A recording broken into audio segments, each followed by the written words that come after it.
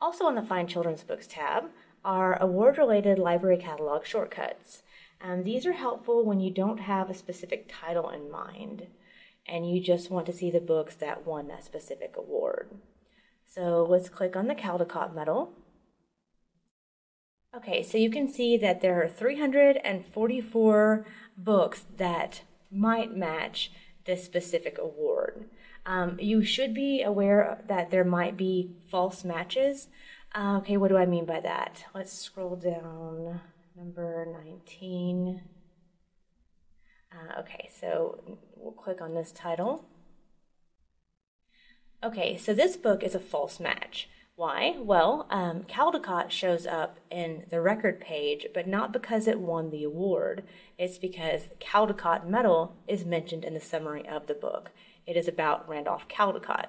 So this one would be considered a false match because it didn't actually win the award. Let's look at another one. That's false. Uh, okay, Swimmy. We'll click on that one. This book is another false match. Why? Um, it did win the Caldecott Medal, but it won it in 1964. This book was printed in 2013, but that's because it was an anniversary edition. So since it won the award so far back, it wouldn't work for your assignment. So this is another reason why looking at the detailed record is important, um, because you want to make sure the books that come up in your searches will fit your assignment. Okay, and the other shortcut uh, in the guide is award winners by genre.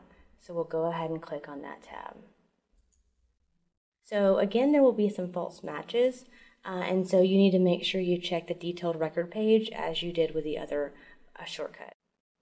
One genre that is a little different is realistic fiction, and we suggest you use the database of award-winning children's literature to find books in that area. And this video will show you a little bit about how to do that. This is the database of award-winning children's literature. And if you're here looking for realistic fiction books, uh, the two most important limiters are genre. We're going to select realistic fiction from the drop-down menu. And the publication year, because all of the books for this class need to be newer than 2000. So we'll do that there. And for right now, we're going to leave all of the other fields as they are and just see what that gives us. And here's a list of realistic fiction books that have won awards. Uh, the name of the award is listed under the title um, as an acronym. And if you're wanting to know what award is what, uh, you're able to go up here and click on explanation of awards and the um, awards are explained. Um, one thing this doesn't tell you is whether or not Neumann Library has a copy of that book.